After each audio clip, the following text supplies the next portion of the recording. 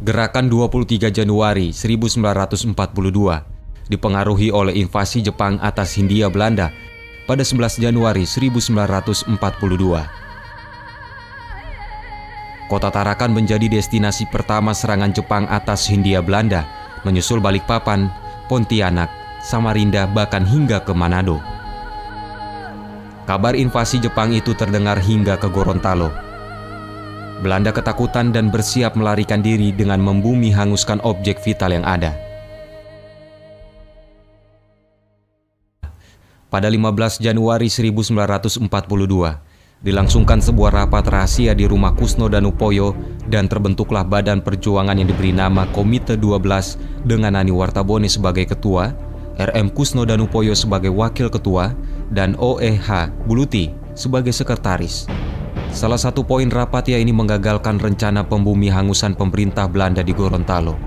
Pada malam 23 Januari 1942, Nani Wartabone kembali ke Suwawa dengan mengumpulkan keluarga ayah serta tokoh-tokoh pemuda untuk bersiap menangkap orang-orang Belanda di Gorontalo. Nani Wartabone menyiapkan senjata, mengumpulkan rakyat dan pemuda anggota Hulunga. Anggota ini terdiri dari 300 orang dan menjadi pasukan inti Nani Wartabone. Menjelang subuh pasukan Nani Wartabone bergerak ke Gorontalo yang berjarak lebih kurang 11 km. Warga kampung yang dilewati ikut bergabung dengan pasukan dengan misi utama menangkap para pejabat tinggi Hindia Belanda dan menguasai ibu kota. Pertama-tama kantor pos, telegraf, dan telepon dikuasai. Selain itu, pasukan menuju tangsi politi atau kantor polisi dengan menangkap komandan Veld Politi Wisi Romer, kontrolir dan kauna Degenstad Politi atau Kepala Polisi Kota, The Koper dan Asisten Presiden Korn. Setidaknya ada 20 orang yang ditangkap pagi itu dan digiring ke penjara. Sementara itu rakyat pribumi yang sebelumnya ditahan di dalam penjara dibebaskan. Selesai dari penangkapan terhadap pejabat-pejabat pemerintah Belanda, Nani Wartabone memimpin rakyat untuk menurunkan bendera Belanda, merah putih biru, dan menggantikannya dengan bendera merah putih. Yang pertama diturunkan adalah bendera Belanda di depan kantor pos. Kain warna biru dirobek dan sisanya dinaikkan ke kembah. Setelah mengibarkan merah putih, pasukan Nani Wartabone bersama rakyat beralih ke Tanah Lapang atau yang saat ini dikenal dengan Lapangan Taruna Remaja. Nani Wartabone berpidato pada hari ini tanggal 23 Januari 1942. Pada hari ini, tanggal 23 Januari 1942. Kita bangsa Indonesia yang berada di sini sudah merdeka, bebas, lepas dari penjajahan bangsa mana pun jua. Bendera kita adalah merah putih. Lagu kebangsaan kita adalah Indonesia Raya. Pemerintah Belanda telah diambil alih oleh pemerintah nasional. Peristiwa 23 Januari 1942 menjadi potret sifat nasionalisme dan patriotik yang sangat besar dari putra-putri Gorontalo untuk bergabung dengan negara Indonesia. Tidak heran jika peristiwa itu membuat Gorontalo diingat sebagai salah satu daerah yang memiliki peran penting dalam memberikan contoh bagi daerah-daerah lain guna merebut kemerdekaan dan kebebasannya dari penjajahan. Gorontalo menjadi salah satu daerah yang diprioritaskan untuk dikunjungi Presiden Soekarno pada 20 November 1951. Ini sebagai upaya konsolidasi persatuan dan kesatuan Indonesia sekaligus meredam sejumlah pergolakan yang mulai muncul di beberapa daerah di Maluku dan Sulawesi pada masa itu. Presiden Soekarno pertama kali mendarat di Gorontalo pada 20 November 1951, tepatnya di Danau Limboto dengan menggunakan pesawat Catalina Amboina. Sejarah mencatat ada tiga lokasi yang dikunjungi Soekarno di Gorontalo, yaitu Tanah Lapang, untuk apel akbar, Rumah Presiden Koordinator atau saat ini Rumah Dinas Wali Kota dan gedung pertemuan yang sekarang bioskop ideal untuk bertemu dengan tokoh politik, kepala dinas dan para pemuda setempat. Inti pidato Soekarno yang terekam berita Newsgirl pada 27 November 1951 yang pada intinya berbunyi sebagai berikut. Persatuan Indonesia dan negara nasional yang tidak hanya mengenal kemakmuran, tetapi juga keadilan sosial, negara adil dan makmur, Indonesia atau lebih tepatnya orang Indonesia harus menjaga kemakmurannya sendiri. Kerja, kerja, kerja adalah semboyan. Negara akan memastikan distribusi yang adil dari hasil kerja ini.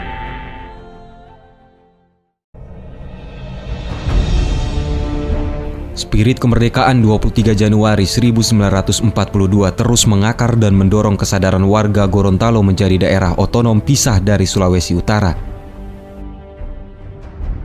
Pada periode tahun 1990-an, muncul sikap kritis generasi muda Gorontalo bahwa apa yang dijalani selama ini di Sulawesi Utara adalah kebersamaan semu. Pemerataan pembangunan tidak pernah terjadi secara memadai, sehingga fasilitas pendidikan, distribusi proyek pembangunan, infrastruktur dan akses pasar untuk masyarakat di wilayah-wilayah pinggiran tidak pernah berubah. Januari 1999 hingga Januari 2000 menjadi periode penting gerakan perjuangan pembentukan Provinsi Gorontalo yang dimotori oleh Himpunan Mahasiswa Indonesia Gorontalo atau HPMIG dan sejumlah tokoh daerah. Seperti ingin mengulang sejarah 23 Januari 1942, perjuangan pembentukan Provinsi Gorontalo menemukan momentum penting pada tanggal 23 Januari tahun 2000 atau 58 tahun usai Nani Wartabone memproklamirkan Gorontalo bebas dari penjajahan. Pada upacara peringatan Hari Patriotik 23 Januari 1942 kali itu, dideklarasikan pembentukan Provinsi Gorontalo dengan pidato iftitah yang dibacakan oleh Ketua P4 GTR Nasir Mooduto disusul oleh Nelson Pomalingo selaku Ketua Umum Presnas P2 GTR membacakan naskah deklarasi. Tanggal 5 Desember tahun 2000, DPR RI mengesahkan RUU tentang pembentukan Provinsi Gorontalo. Selanjutnya Undang-Undang Republik Indonesia Nomor 38 Tahun 2000 resmi ditandatangani oleh Presiden RI Abdurrahman Wahid pada tanggal 22 Desember tahun 2000.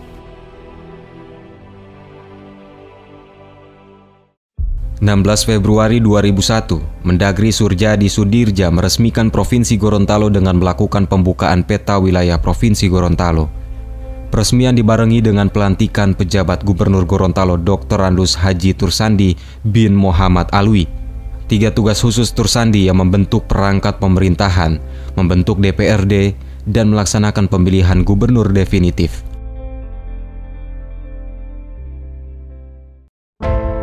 Sebagai pejabat gubernur, Tursandi Alwi sukses meletakkan dasar-dasar tata kelola pemerintahan yang baik. Ia dituntut untuk bisa mengakomodir kepentingan semua kelompok di tengah euforia pembentukan Provinsi Gorontalo. Periode pemerintahan Tursandi Alwi berjalan singkat selama 10 bulan hingga Desember 2001. Fadel Muhammad dan Gusnar Ismail menjadi gubernur dan wakil gubernur pertama Provinsi Gorontalo. Kala itu, Keduanya dipilih oleh suara mayoritas di DPRD. Keduanya dilantik pada tanggal 10 Desember 2001. Sebagai kepala daerah pertama, Fadel dan Gusnar mampu menciptakan branding Gorontalo sebagai provinsi jagung di tingkat nasional. Hal lain yang terus diingat orang bagaimana keduanya fokus pada pengembangan sumber daya manusia melalui tim pengembangan sumber daya manusia atau TPSDM IKIP Gorontalo berubah status menjadi Universitas Negeri Gorontalo dan munculnya beragam universitas swasta tumbuh untuk mendongkrak SDM lokal. Periodisasi kepemimpinan Fadel Muhammad berlanjut pada tahun 2007 hingga tahun 2012. Namun pada 22 Oktober 2009, ia ditunjuk oleh Presiden SBY kala itu untuk menjadi Menteri Kelautan dan Perikanan. Posisinya digantikan oleh Gusnar Ismail, sang wakil. Posisi wakil gubernur dipercayakan kepada Tony Uloli yang dilantik pada tanggal 14 Juni 2010. 16 Januari 2012 atau tujuh hari sebelum peringatan Hari Patriotik 23 Januari 1942, pucuk pimpinan di Provinsi Gorontalo berpindah tangan kepada duet Rusli Habibi dan Idris Rahim. Rusli Idris resmi menjadi gubernur dan wakil gubernur Gorontalo dengan mengusung visi menuju Gorontalo unggul, adil, dan sejahtera. Visi itu dijabarkan menjadi empat program unggulan yaitu pendidikan gratis, kesehatan gratis, pembangunan infrastruktur dan ekonomi kerakyatan. Rusli Habibie terinspirasi hubungan politik yang mesra antara Jakarta dan Gorontalo pasca peristiwa 23 Januari 1942. Ia ingin membangun kepercayaan pemerintah pusat bahwa Gorontalo sebagai bagian dari NKRI patut mendapatkan perhatian dengan alokasi anggaran dan program dari APBN. Berpenduduk 1,2 juta jiwa dengan APBD tertinggi hanya 2 triliun rupiah, tidak membuat Rusli minder untuk menjalin relasi yang baik dengan Jakarta, bersaing dengan provinsi-provinsi lain yang lebih dulu eksis. Hubungan personal Rusli dan Presiden Joko Widodo menjadi salah satu kuncinya. Selain istri Rusli, Ida Syahida yang asal Solo, Rusli dan Jokowi pernah sama-sama menjabat gubernur sebelum Jokowi jadi presiden tahun 2014. Faktor Rusli Habibi sebagai ponakan dari Presiden RI ketiga Bahrudin Yusuf Habibi atau BJ Habibi juga menjadi penting. BJ Habibi menjadi tokoh yang disegani oleh presiden-presiden sesudahnya hingga ia wafat. Hasil dari relasi yang baik itu membuat pembangunan infrastruktur di Gorontalo berjalan baik, Pembangunan terminal baru Bandara Jalaluddin menjadi salah satu contohnya. Ada juga bendung randangan, pelebaran dan pembukaan akses jalan nasional lintas utara dan selatan, serta sebagai mega proyek lainnya. Jalan Gor menjadi salah satu yang prestisius karena dinilai oleh sebagian kalangan sebagai ide yang gila. Jalan sepanjang 32 km itu dinilai mustahil bisa dikerjakan karena perencanaan keuangannya ditaksir mencapai 8 triliun rupiah empat kali lipat dari APBD tertinggi pemerintah Provinsi Gorontalo saat ini.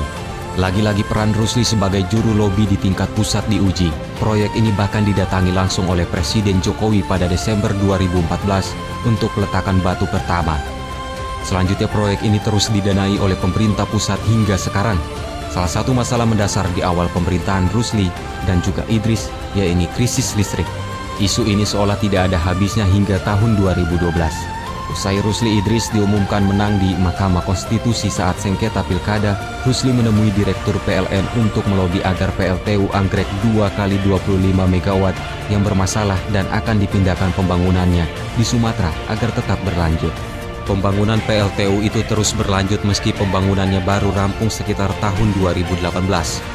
Ada juga proyek listrik 35.000 MW yang dicanangkan Presiden Jokowi, salah satunya diresmikan di Kabupaten Pohuwato. Pembangunan Rumah Sakit Ainun Habibi juga menjadi fundamental untuk Gorontalo. Selama 12 tahun provinsi ini berdiri, pemerintah provinsi belum memiliki rumah sakit tipe B. Dengan kemampuan APBD yang minim, Rusli berupaya mencari sumber-sumber pembiayaan lain agar rumah sakit Ainun bisa berdiri. Tahun ini rumah sakit itu akan dibiayai melalui program pemulihan ekonomi nasional atau PEN. Momentum pendaratan pesawat Soekarno di Gorontalo pada 20 November 1951 menunjukkan bahwa Gorontalo ketika itu diperhitungkan oleh pemerintah pusat. Sebagai daerah yang pertama memproklamirkan kemerdekaannya, tiga tahun tujuh bulan lebih dulu dari Republik, membuat posisi Gorontalo menjadi penting di mata Soekarno. Rusli ingin terus merawat semangat inspirasi 23 Januari 1942 ia menilai saat ini posisi Gorontalo sangat strategis di mata pemerintah pusat. Ada tiga menteri yang secara biologis memiliki darah Gorontalo, yaitu Zainuddin Amali, Soeharto Monoarfa, dan Sandiaga Uno. Ada juga nama Rumkono yang dipercayai sebagai duta besar di Bosnia Herzegovina. Selain itu ada nama Rahmat Gobel sebagai wakil ketua DPR RI dan Fadel Muhammad sebagai wakil ketua MPR RI. Keduanya dibantu oleh Ida Syahida, Rusli Habibi, dan El Nino Mohi sebagai anggota DPR RI Dapil Gorontalo. Ada juga nama Abdurrahman Abu Bakar Bahmid, Rahmiati Jahja, dan Dewi Sartika Hemeto sebagai anggota DPD RI. Semangat gerakan 23 Januari 1942 untuk mewujudkan daerah yang merdeka, mandiri, dan maju sepertinya terus mengilhami segenap warga Gorontalo. Spirit berbangsa dan bernegara di bawah bingkai negara kesatuan Republik Indonesia